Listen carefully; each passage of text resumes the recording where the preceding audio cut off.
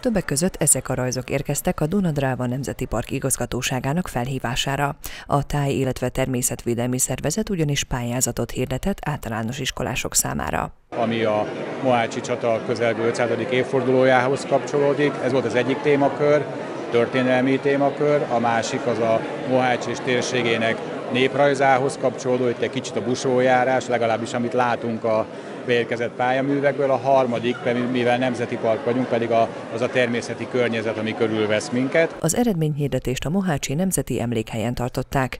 Nem véletlenül, hiszen május 14-én országszerte zajlott az Emlékhelyek Napja elnevezésű rendezvény. Ez idén már a hetedik alkalom.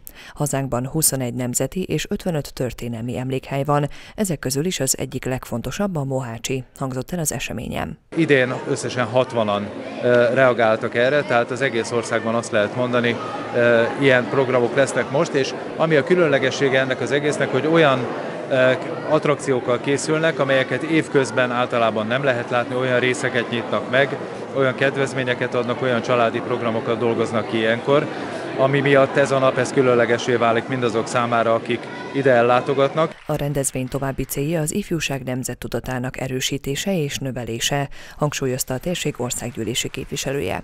Argitai János kiemelte, hogy az akkori világhatalom megdöntése érdekében összefogtak az európai nemzetek.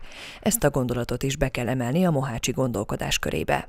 Ne csak egy temető, ne csak egy gyásztér legyünk, hanem a hősiesség gondolata és a közép-európai összefogás gondolata is az 500. évforduló kapcsán kerüljön be a csata kapcsán a magyar identitásba. Én azt gondolom, ez a legfontosabb, és ez persze meg fog valósulni különböző tárgyasult formában, amikor egy múzeumot csinálunk, amikor emlékkápolnát csinálunk, amikor más dolgokat felújítunk, és még sorolhatnám. Az emlékhelyek napján a látogatókat különleges szakvezetésekkel várták, akik így a közel 500 évvel ezelőtti fegyverekkel, viselettel, katonai szokásokkal ismerkedhettek meg, de a bátrabbak az íjászatot is kipróbálhatták.